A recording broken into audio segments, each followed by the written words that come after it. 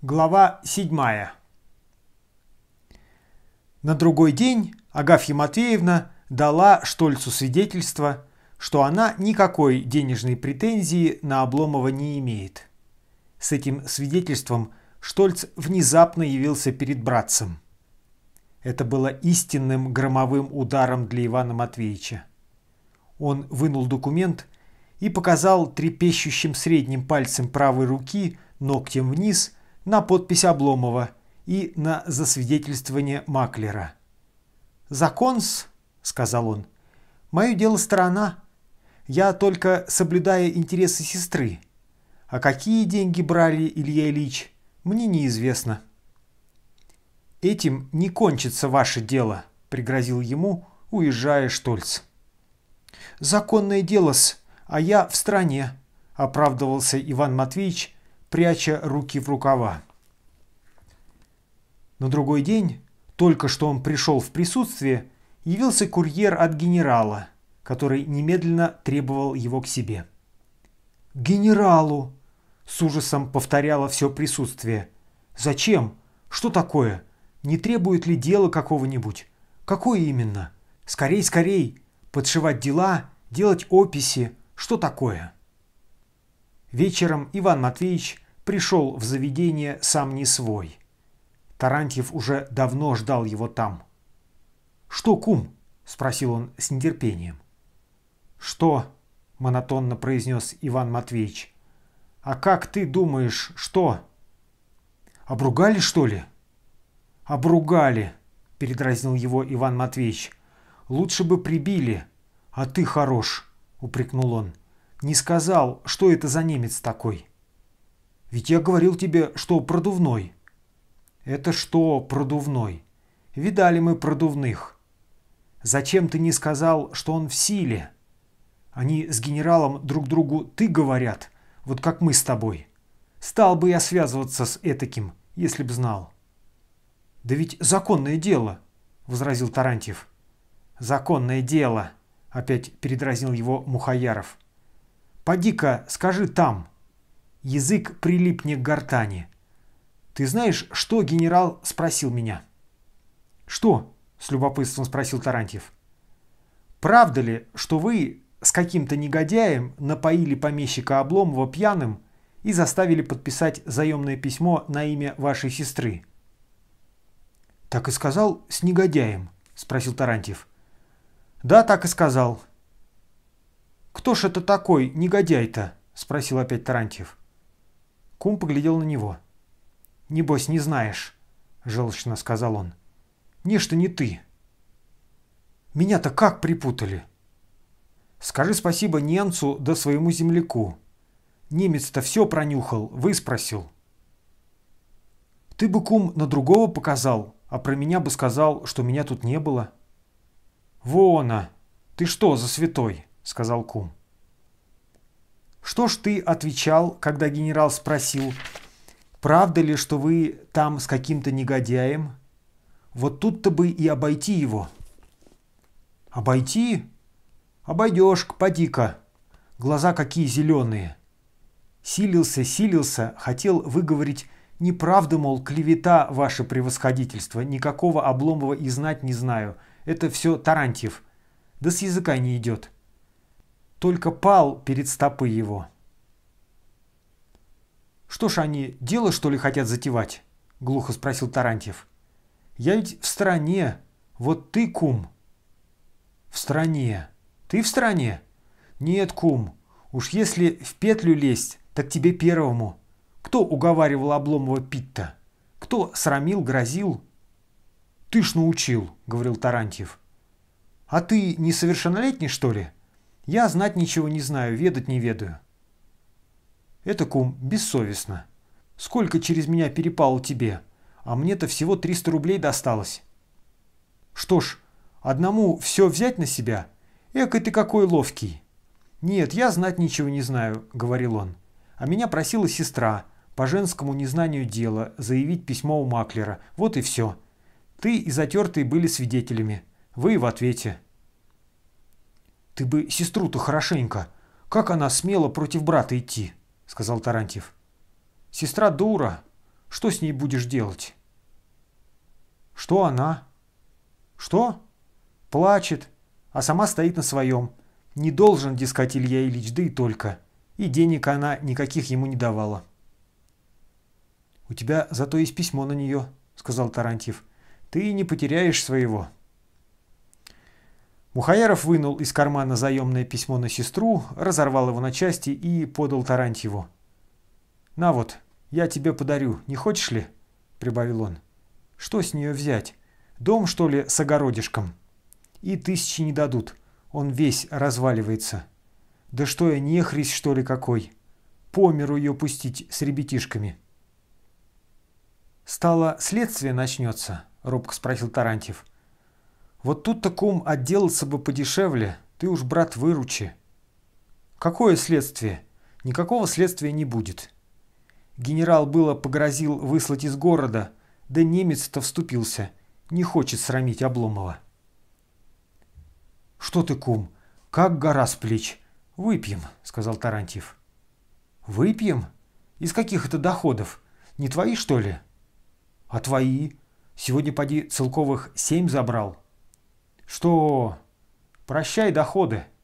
Что генерал-то сказал? Я не договорил. А что? Вдруг опять струсив спросил Тарантьев. В отставку велел подать. Что ты, кум? Выпуча на него глаза, сказал Тарантьев. Ну, заключил он с радостью, теперь обругаю же я земляка, на чем свет стоит. Только бы тебе ругаться. Нет, уж обругаю, как ты хочешь, говорил Тарантьев. А впрочем, правда, лучше погожу. Вот что я вздумал. Слушай-ка, кум. Что еще? Повторил в раздумье Иван Матвеевич. Можно тут хорошее дело сделать. Жаль только, что ты съехал с квартиры. А что? Что? Говорил он, глядя на Ивана Матвеевича подсматривать за Обломовым да за сестрой. Какие они там пироги пекут. Да и того, свидетелей. Так тут и немец ничего не сделает. А ты теперь вольный казак. Затеешь следствие, законное дело. Небось и немец струсит, на мировую пойдет. А что? В самом деле можно, отвечал Мухаеров задумчиво. Ты не глуп на выдумке. Только в дело не годишься, и затертый тоже. «Да я найду, постой», — говорил он, оживляясь. «Я им дам. Я кухарку свою на кухню к сестре подошлю. Она подружится с Анисией, все выведает. А там выпьем, кум». «Выпьем», — повторил Тарантьев. «А потом уж я обругаю земляка». Штольц попытался увести Обломова но тот просил оставить его только на месяц. Так просил, что Штольц не мог не сжалиться. Ему нужен был этот месяц, по словам его, чтобы кончить все расчеты, сдать квартиру и так уладить дела с Петербургом, чтоб уж более туда не возвращаться. Потом нужно было закупить все для уборки деревенского дома. Наконец, он хотел приискать себе хорошую экономку, вроде Агафьи Матвеевны, даже не отчаивался уговорить и ее продать дом и переселиться в деревню, на достойное ее поприще, сложного и обширного хозяйства. «Кстати, о хозяйке», – перебил его Штольц. «Я хотел тебя спросить, Илья, в каких ты отношениях к ней?» Обломов вдруг покраснел.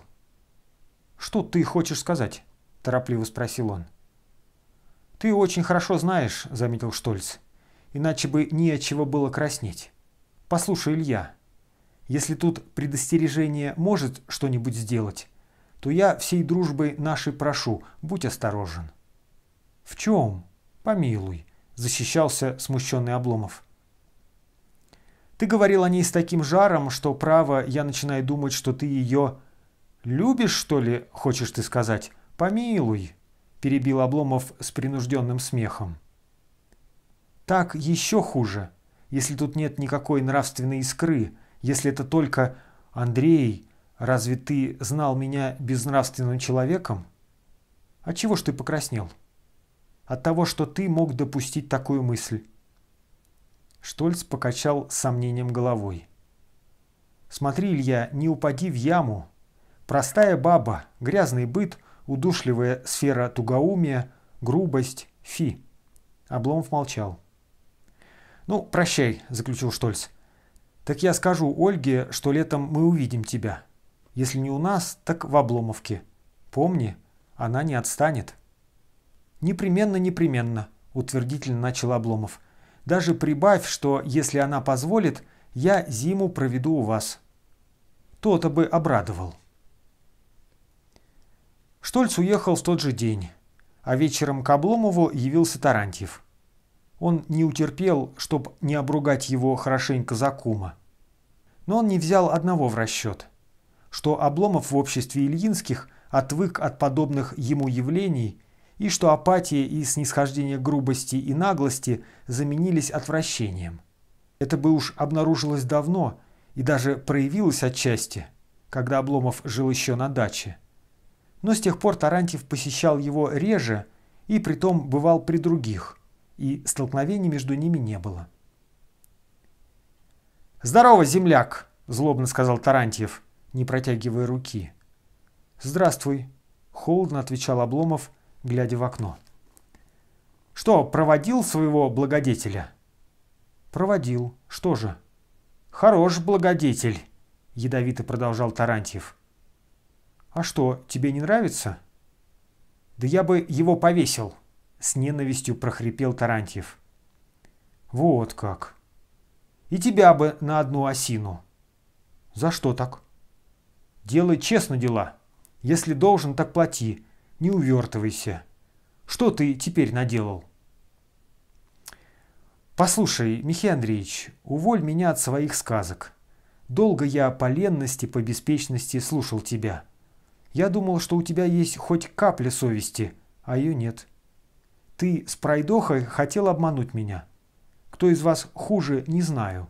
Только вы оба гадки мне. Друг выручил меня из этого глупого дела. «Хорош друг», — говорил Тарантьев. «Я слышал, он и невесту у тебя поддел. Благодетель, нечего сказать. Ну, брат, дурак ты, земляк».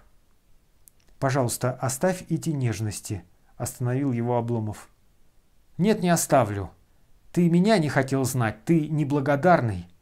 Я пристроил тебя здесь, нашел женщину-клад. Покой, удобство всякое. Все доставил тебе, облагодетельствовал кругом. А ты и рыло отворотил. Благодетель нашел, немец. На аренду имение взял.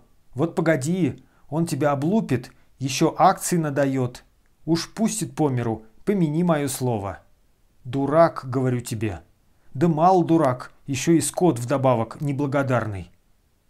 Тарантьев, грозно крикнул Обломов. Что кричишь-то?